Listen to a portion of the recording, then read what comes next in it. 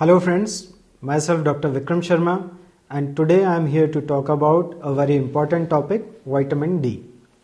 तो दोस्तों vitamin D एक इतना ज़रूरी टॉपिक होता है कि लगभग हमारे ओपीडी में जो हर व्यक्ति आता है उसे इसके बारे में पता होता है और कितने लोग तो ये टेस्ट अपना खुद ही करवा के लाते हैं तो आज हम लोग बात करने वाले हैं कि विटामिन डी क्या होता है शरीर में इसका क्या उपयोग होता है किस तरह से विटामिन डी हमारे शरीर में बन सकता है किस तरह के फ़ूड से हम लोग विटामिन डी प्राप्त कर सकते हैं और किस तरह से हम विटामिन डी की कमी को पहचान सकते हैं और क्या क्या इसके ट्रीटमेंट रेमेडीज़ होती हैं।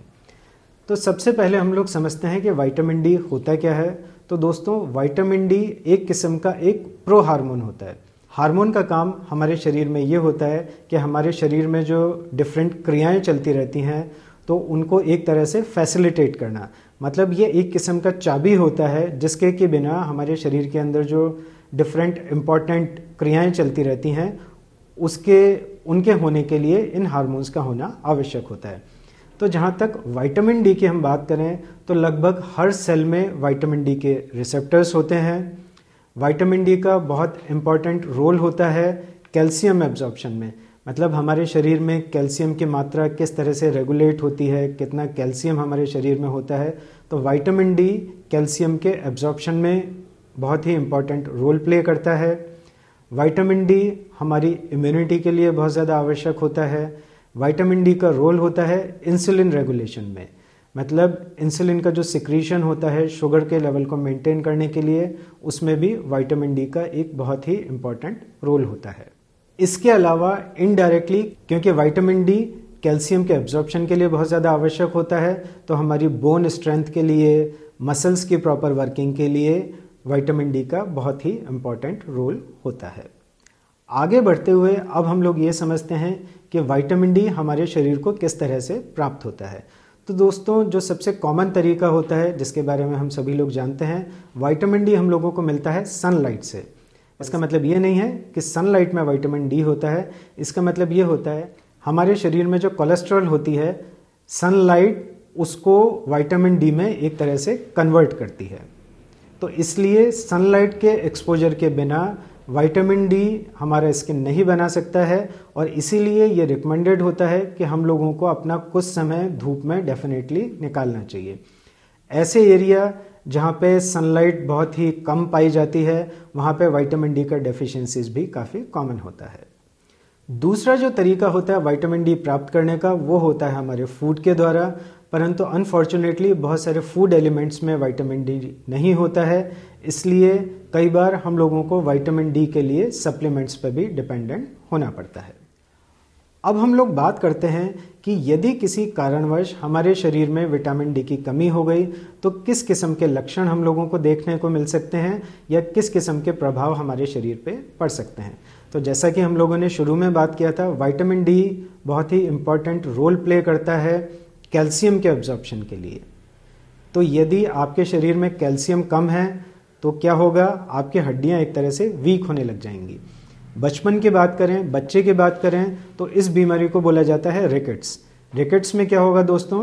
कि जो बच्चे के रिब्स हैं, उसके एंड एक किस्म से प्रोमिनेंट हो जाते हैं। इस कंडीशन को बोला जाता है रिकेट्सिक रोजरी दूसरा, बच्चे के जो पैर हैं, उसमें बाहर की तरफ़ घुमाव होने लगता है जीनो वेलगम मतलब आप लोगों ने देखा होगा, कई बच्चों के पैर बहुत ज़्यादा बाहर की तरफ़ ऐसे मुड़े हुए होते हैं नॉक नीज होती हैं तो वो भी एक वाइटामिन डी की डेफिशिएंसी का एक किस्म का लक्षण होता है।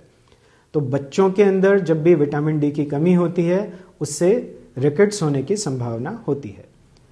बड़े व्यक्ति में ऑस्टियोमलेशिया हो सकता है मतलब कि कैल्शियम कम है तो आपकी हड्डी एक तरह से कमज़ोर होगी। हड्डी के अंदर फ्रैक्चर होने की संभावना काफ़ी बढ़ जाती है और स्ट्रेस फ्रैक्चर्स काफ़ी ज़्यादा हो सकते हैं। स्ट्रेस फ्रैक्चर मतलब यदि आपने हड्डी पे बहुत ज़्यादा लोड डाल दिया सपोज़ आपने बहुत लंबा मार्च कर लिया, आप किसी पहाड़ पे चढ़ गए और आपकी हड्डी उसके लायक नहीं है तो हड्डी में बहुत महीन बाल जैसे फ्रैक्चर होने लग सकते हैं। इसे बोला जाता है स्ट्रेस फ्रैक्चर। ओल्ड एज के अंदर ये देखा गया है कि जहाँ पे विटामिन डी की कमी होती है तो आप ऑस्टियोपोरोसिस के लिए प्रोन होते हैं। मतलब आपकी हड्डी बहुत ज़्यादा कमज़ोर हो सकती है और उसमें फ्रैक्चर होने की संभावना बहुत ही हल्के इंजरी से भी उसमें फ्रैक्चर हो सकता है। तो इस तरह से विटामिन डी की कमी का पहला लक्षण हड्डी के अंदर कमज़ोरी आना दूसरा लक्षण आपकी इम्यूनिटी में काफ़ी कमी हो सकती है और आप लोगों को बार बार इन्फेक्शन भी विटामिन डी की कमी के कारण हो सकते हैं। मूड चेंजेस भी विटामिन डी की कमी के साथ में देखे गए हैं। हल्का डिप्रेशन जैसे सिम्टम भी व्यक्ति में देखे जा सकते हैं। बाल झड़ने जैसी समस्याएँ एलोपेसिया रीटा मतलब ये एक हेयर फॉल की समस्या होती है, ये भी विटामिन डी की डेफिशिएंसी में कॉमनली देखी जा सकती है। इंसुलिन रेगुलेशन में प्रॉब्लम होगी और सर्वे के हिसाब से ये भी देखा गया है कि जहाँ पे विटामिन डी की कमी होती है, ऐसे व्यक्ति हाइपरटेंशन के लिए, डायबिटीज़ के लिए और कार्डियक प्रॉब्लम्स के लिए काफ़ी प्रोन होते हैं। तो दोस्तों, इस तरह से अब तक हम लोगों ने ये समझा कि विटामिन डी का हमारे शरीर में क्या अहमियत होता है, किस तरह से हम विटामिन डी को प्राप्त कर सकते हैं। फ़ूड के माध्यम से या फिर सनलाइट के एक्सपोजर से विटामिन डी की जब भी हमारे शरीर में कमी होती है तो किस किस्म के लक्षण हम लोगों को इसमें देखने को मिल सकते हैं? शरीर में वीकनेस हो सकती है फटीग हो सकता है फ्रैक्चर की संभावना बढ़ जाती है हेयर फॉल हो सकता है और माइल्ड डिप्रेशन जैसे सिम्टम भी हम लोगों को आ सकते हैं। तो दोस्तों, इस वीडियो को देखने का धन्यवाद। अगले वीडियो में हम लोग बात करेंगे कि विटामिन डी की डेफिशिएंसी को हम लोग कैसे असेस कर सकते हैं। आपके डॉक्टर किस किस्म का ट्रीटमेंट आपको दे सकते हैं और किस किस्म के फ़ूड में विटामिन डी की मात्रा उपलब्ध होती है, जिनको आप लेके विटामिन डी की डेफिशिएंसी से अपना बचाव कर सकते हैं। तो इस वीडियो को देखने का धन्यवाद। Stay active stay tune thank you